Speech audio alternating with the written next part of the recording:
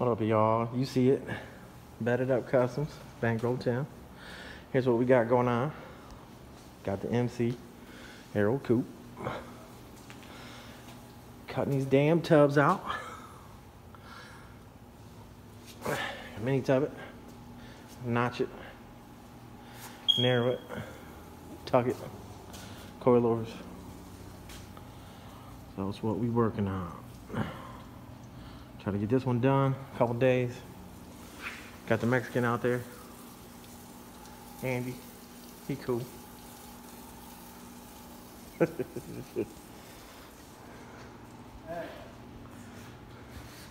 yeah. So, anyways.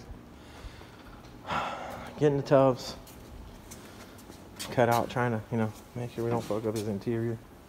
Got some welding blankets or uh, moving blankets. To get all this cut out. You know how we do, you can see the marks. Go ahead and uh, screenshot the markings of where to cut it out.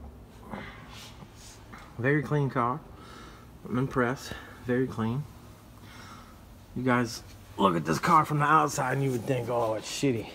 A lot of you guys buy nice looking cars that are rusty to shit underneath and then you want to build those cars. Why? If the car is rusty, don't build that shit. Find you one that is not rusty and build that. Quit building bullshit. So yeah. The Aero Coupe SS. Got a little small block in it. As you can see, it's got lifted spindles on the front, but not for me to mess with right now. Just the back.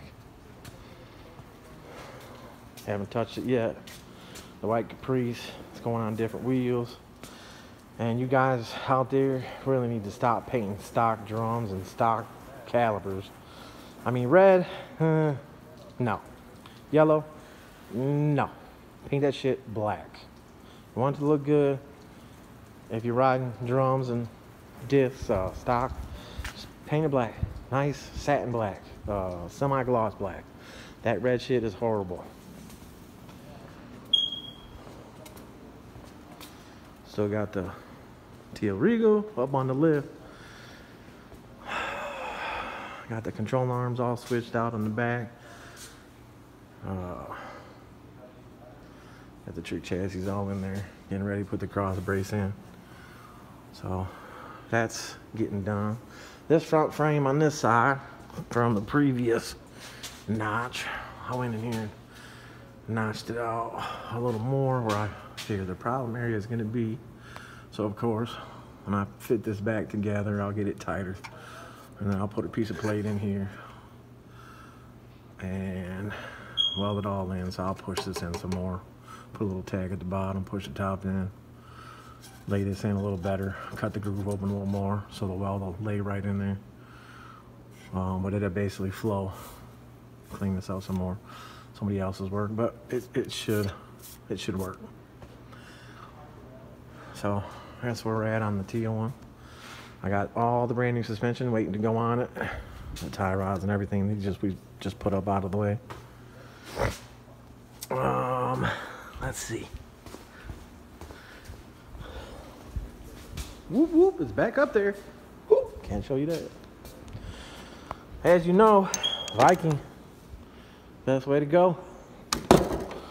Hotchkins, Hotchkiss, Hotchkins, however you, how you say it. Tie rod sleeves right there. You got your inner and outer tie rods going there. You look all nice and pretty, easy adjustment. The right way to go. Instead of having these, let's see where they're at, my specialty drawer.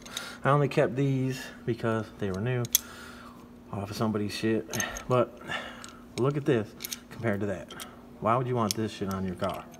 Garbage. Why'd I save it? I don't know. Maybe I'll make something out of them later. Got a whole bunch of specialty shit in there. Fittings, all kinds of shit. Always good to have a drawer like that when you're custom fitting everything. So yeah, Aero Coupe. Bad Dog Customs. Box Chevys and all kinds of good shit. And that's all I got for today, y'all. Bet up customs, subscribe, share, watch. Please watch. I'm short minutes. If I can get these minutes up, make a couple dollars. If I can make a couple dollars, I can give work a lot cheaper. So, better up custom bankroll town. Peace out.